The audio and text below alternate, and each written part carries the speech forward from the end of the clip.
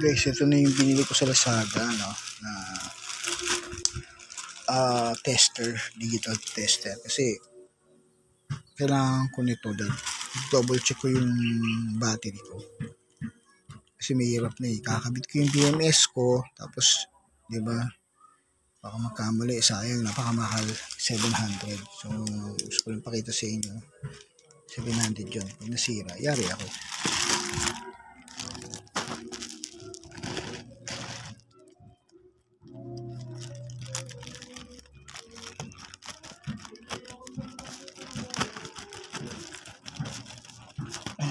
Yan siya.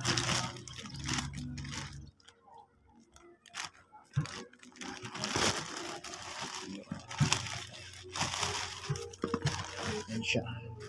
Okay.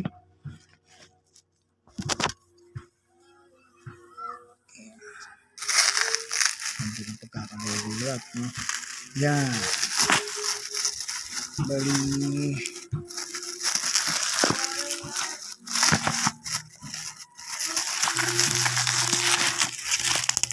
nakailang bila ako eh. Minibili ko yung mga mura lang. So, wala naman budget yung pambili. Sira na. Nakadalawa na ako. Pangatlo na to.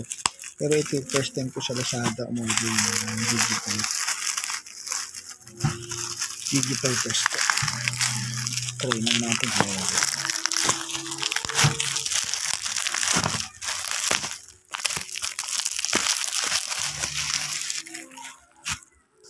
Guys.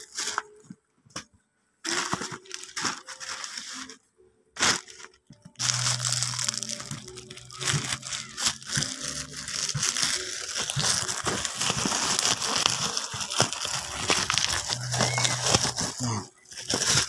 Okay. So, ayan siya guys. Ayan. Met, Metco Digital Multimeter.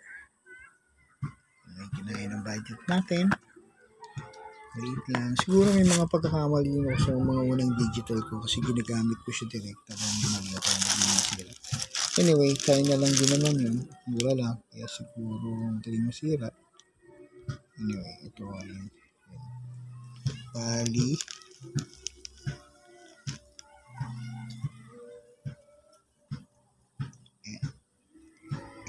198 lang siya. Okay. Ayan siya. Okay. Paulasad. Buksan na natin. Gagamitin ko kasi mamaya. Um, check ako nung aking DIY na LiPo battery para sa e-bike ko. So, hindi naman ako nagmamadali. Kailangan ko yung talagang maging sure ball para hindi sayang yung ano. Ayan. Oh. Ayan. Kita mo. Kita mo okay na siya. Ayan. Libre na. Um, okay. Hanggang na itsura. Okay.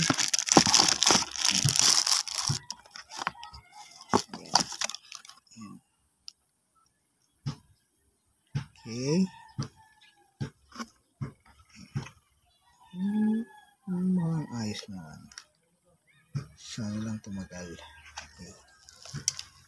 Ayan. Diba? May mga kasama ngayon. May libreng battery. Okay, may libre siyang battery. Power cell plus. Ayan. So, lalagay lang natin. Tingnan natin kung tama na. Ito kakabit.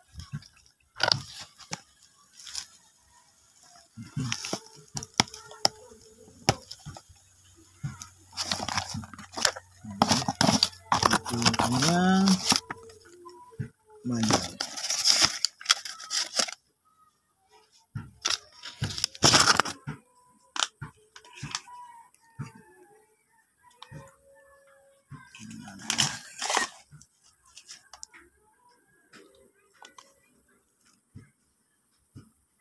Ayan.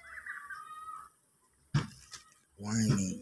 To avoid electric shock, remove test LED LEDs before opening keys. Please safety. Okay. Ayan siya. Ayan. Aha. Yung pa, yung pan-check talaga.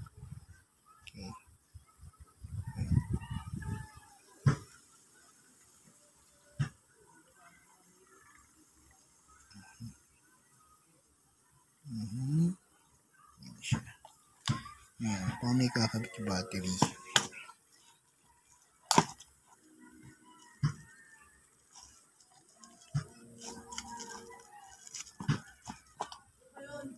Kung paano ikabit yung battery. Ayan guys.